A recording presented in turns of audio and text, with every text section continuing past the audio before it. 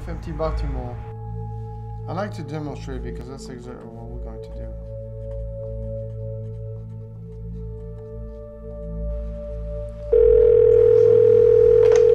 Hello, Hey Diesel, what's up? it's DeSalle. Whatever, dude. Yeah, I got some big news to share with you. What is it this time? You where?